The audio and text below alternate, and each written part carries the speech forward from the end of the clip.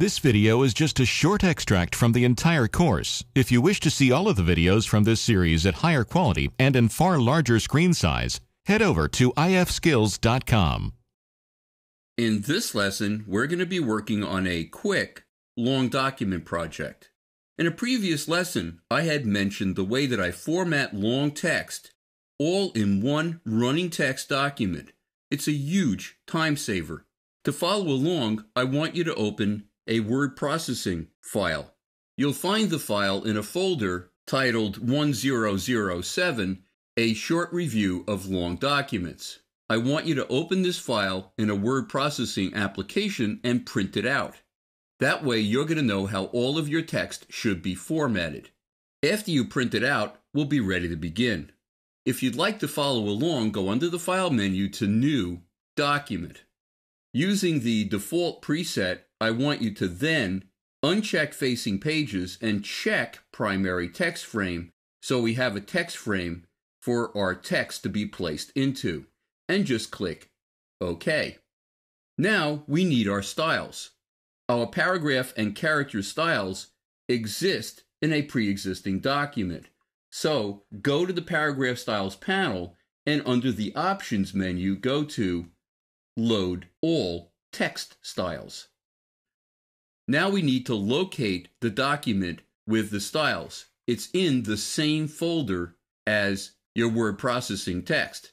So it's the last document in that folder. It's called Paragraph Styles for 1007. And I'm just going to click Open. There is a conflict with one of the incoming styles.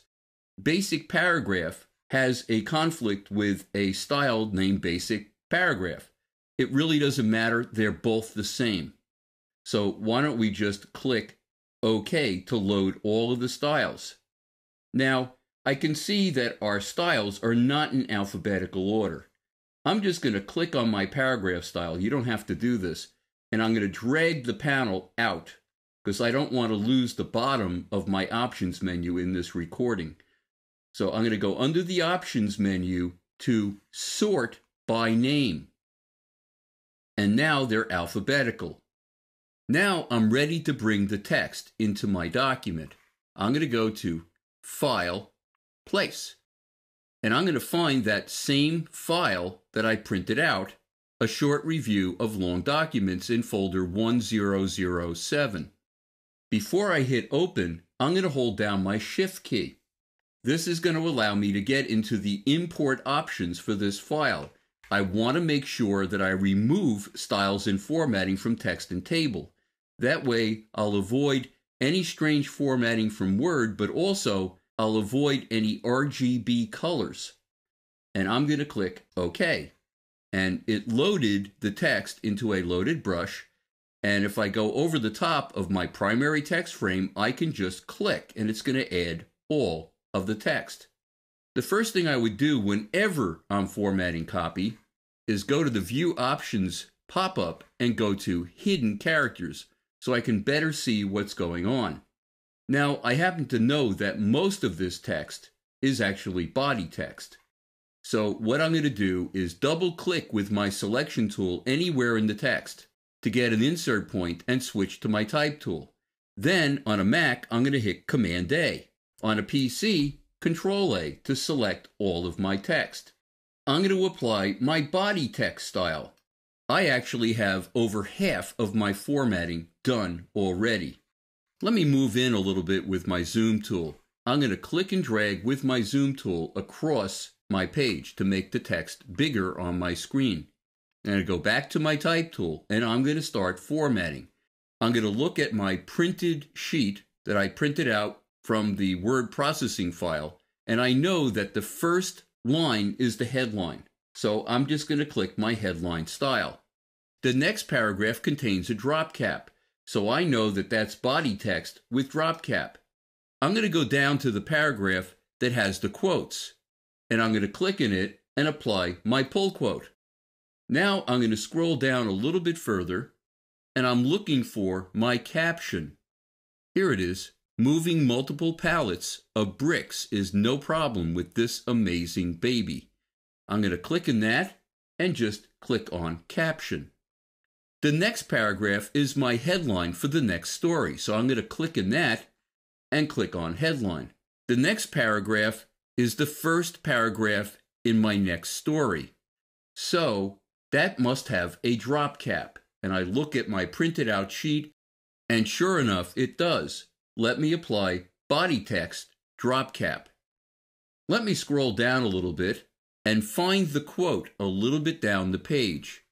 It reads, They were able to help us with every kind of equipment we needed. I know that that's my pull quote. So I'm just going to click on pull quote. The only thing left is the last caption. Let me find it. It's on the next page. An incredible lineup of construction vehicles. Let me click caption. I have all of my text formatted, and that was really fast. Now I need to open my actual layout. I'm going to go under the File menu to Open, scroll down to that folder 1007, a short review of long documents, and I've already started working on a layout. It's called 1007, a short review of long Documents. documents.indd, the very first file in that folder, and just click open. So now we're ready to paste our text. I'm going to select all of my text except for the caption. The caption happens to be in a separate frame. And I'm going to copy it, Command C or Control C on a PC. I'm going to go into my layout. Click in my first frame at the top of the page and just hit Command or Control V, and it pasted in all of the text.